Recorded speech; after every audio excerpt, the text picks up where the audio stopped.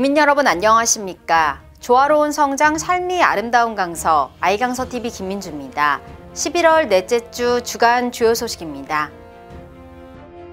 지난 17일 마곡지구 통합신청사 부지역 녹지대 광장에서 강서구 통합신청사 건립 비전 선포식이 열렸습니다.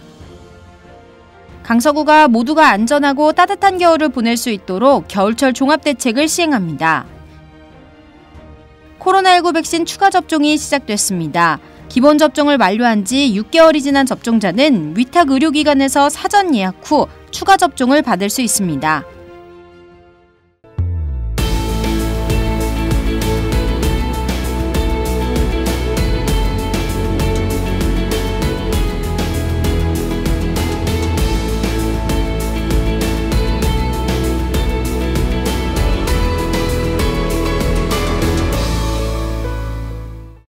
지난 17일 마곡지구 통합신청사 부지역 녹지대 광장에서 강서구 통합신청사 건립비전 선포식이 열렸습니다.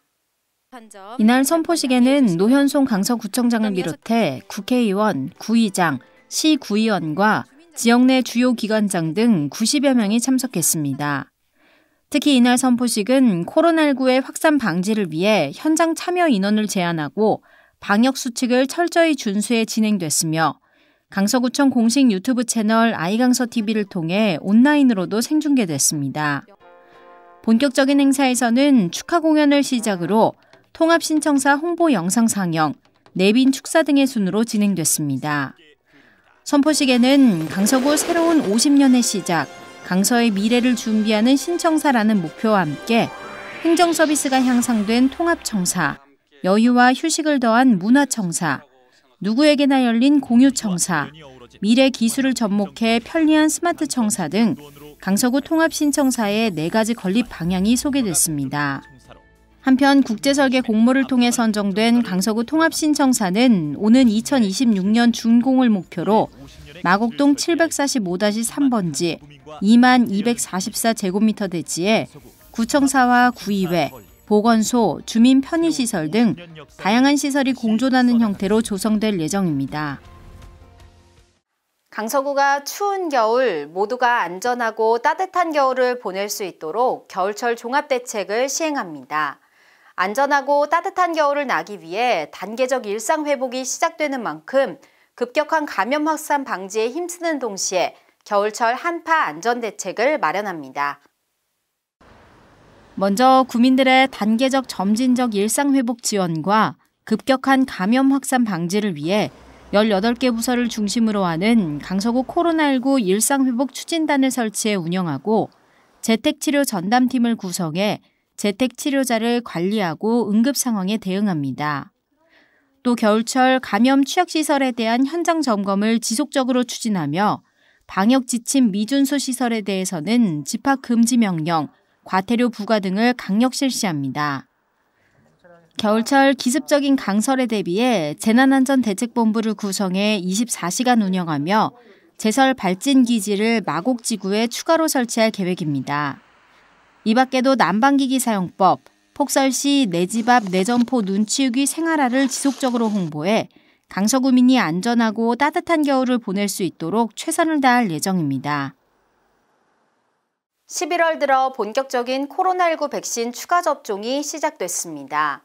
코로나19 예방접종 대응 추진단에 따르면 기본 접종을 완료한 지 6개월이 지난 접종자는 8개월 이내에 사전 예약 후 위탁 의료기관에서 화이자 또는 모더나 백신으로 추가 접종을 받을 수 있습니다. 만 18세에서 49세 기저질환자와 우선 접종 직업군도 접종 완료일 기준 6개월이 지났다면 추가 접종이 가능합니다. 우선 접종 직업군에는 코로나19 1차 대응 요원, 경찰, 소방, 군인 등 사회 필수 인력, 특수교육, 보육, 보건교사와 어린이집 간호 인력, 돌봄 종사자, 의원급 의료기관과 약국 종사자 등 보건의료인도 포함됩니다. 얀센 백신을 접종한 구민들은 11월 8일부터 추가 접종이 시작됐으며 기본 접종을 완료한 지 6개월이 지난 50대는 지난 11월 15일부터 위탁 의료기관에서 화이자 또는 모더나 백신으로 추가 접종을 받을 수 있습니다. 코로나 백신 추가 접종을 원하는 구민은 예방접종 사전 예약 시스템이나 전화로 사전 예약 후 위탁 의료기관을 방문하면 됩니다. 지난 15일 강서구청 대회의실에서 제1차 강서구 안전도시위원회 정기회의가 개최됐습니다. 이날 회의에는 노현송 구청장을 비롯해 강서 경찰서장, 강서 소방서장 등 10여 명이 참석했습니다. 행사에서는 먼저 지속 가능한 지역사회 안전 증진을 주제로 아주대학교 조준필 교수의 강의가 진행됐습니다. 이어진 사업 경과 보고에는 위원장인 노현송 강서구청장의 주제로 강서구 국제안전도시 공인 신청서 제출에 대한 안건을 처리했습니다.